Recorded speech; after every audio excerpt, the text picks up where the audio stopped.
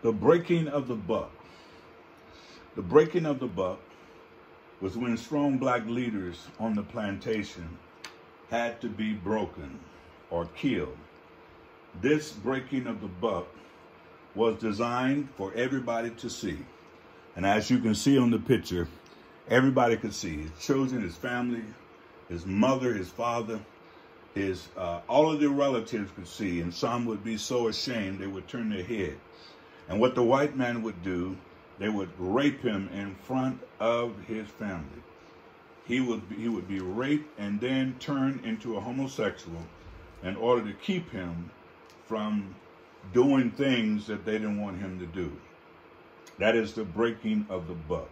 That is to control him, to feminize him, only to control him. All of these things took place. And when they took place, black people are still recovering over some of these things because we're now suffering from post-traumatic slave syndrome. Another point I want you to see that in 1705, slaves were declared as real estate. 1712, uh, a man by the name of Willie Lynch, slave trainer, uh, trained slaves to to hate themselves and to love white people.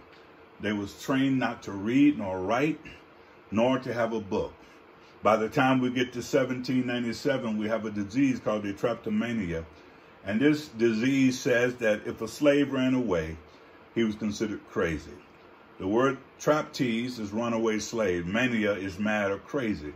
And the treatment was to beat the devil out of him.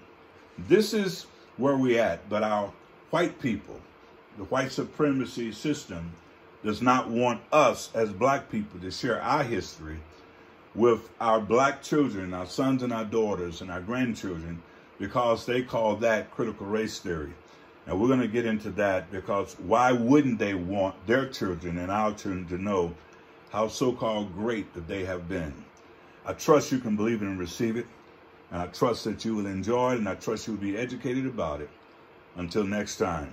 But remember, uh, if you want to be a part of this, if you want to subscribe to this podcast, you just uh, subscribe to JC Global Embassy TV 1. Ring the bell and hit the thumbs up button. God bless. Until next time.